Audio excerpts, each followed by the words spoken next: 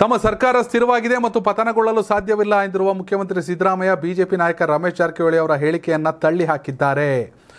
ಮಹಾರಾಷ್ಟ್ರದಲ್ಲಿ ಉದ್ಧವ್ ಠಾಕ್ರೆ ನೇತೃತ್ವದ ಸರ್ಕಾರ ಪತನವಾದ ರೀತಿಯಲ್ಲಿಯೇ ಕರ್ನಾಟಕದಲ್ಲೂ ಕಾಂಗ್ರೆಸ್ ಸರ್ಕಾರ ಪತನ ಆಗುತ್ತೆ ಎಂದು ರಮೇಶ್ ಜಾರಕಿಹೊಳಿ ಹೇಳಿದ್ರು. ಆಪರೇಷನ್ ಕಮಲದ ಬಗ್ಗೆ ಬಿಜೆಪಿ ಎಂದಿಗೂ ಮಾತನಾಡಿಲ್ಲ, ಆದರೆ ಅದರ ಬದಲಾಗಿ ಉಪಮುಖ್ಯಮಂತ್ರಿ ಡಿ ಕೆ ಶಿವಕುಮಾರ್ ಅವರ ನಾಟಕ ಕಂಪನಿಯವರೇ ಮಾತನಾಡುತ್ತಿದ್ದಾರೆ. ಒಂದು ವೇಳೆ ಕಾಂಗ್ರೆಸ್ ಸರ್ಕಾರ ಬಿದ್ದರೆ ಅದಕ್ಕೆ ಡಿ ಕೆ ಶಿವಕುಮಾರ್ ಕಾರಣ ಆಪರೇಷನ್ ಕಮಲ ಮತ್ತು ಶಾಸಕರಿಗೆ ಐವತ್ತು ಕೋಟಿ ಆಮಿಷ ನೀಡುತ್ತಿರುವ ಬಗ್ಗೆ ಮಾತನಾಡ್ತಿರುವುದು ಡಿ ಕೆ ಶಿವಕುಮಾರ್ ಅವರ ನಾಟಕ ಕಂಪನಿಯವರು. ಆಪರೇಷನ್ ಕಮಲ ಎಂಬ ಪದವನ್ನು ಕಾಂಗ್ರೆಸ್ ಸೃಷ್ಟಿಸಿದೆ. ನೆರೆ ರಾಜ್ಯದಲ್ಲಿ ಅಜಿತ್ ಪವಾರ್ ಬಣ ಸಿಡಿದಂತೆಯೇ ರಾಜ್ಯದಲ್ಲೂ ಕಾಂಗ್ರೆಸ್ ಸರ್ಕಾರ ಪತನ ಆಗುತ್ತೆ ಅಂತ ರಮೇಶ್ ಜಾರಕಿಹೊಳಿ ಇದ್ರು. ರಮೇಶ್ ಜಾರಕಿಹೊಳಿ ಅವರು ಹೇಳಿದರು. ಅದೇ ರೀತಿಗೆ ಸಿದ್ದರಾಮಯ್ಯ ಅವರು, ಇವೆಲ್ಲ ತಳ್ಳ ಹಾಕ್ರಿ ಮಾಡೋಕ್ಕೆ ಕೆಲಸ ಇಲ್ಲ ಅನ್ನೋ ರೀತಿಯಲ್ಲಿ ಮಾತಾಡಿದ್ದಾರೆ. ಇನ್ನು ಬಿ ಜೆ ಪಿ ನಾಯಕರೇ ಬಿ ಜೆ ಪಿ ನಾಯಕರನ್ನು ಉದ್ದೇಶಿಸಿ ಸಿದ್ದರಾಮಯ್ಯ ಟ್ವೀಟ್ ಮಾಡವ್ರೆ.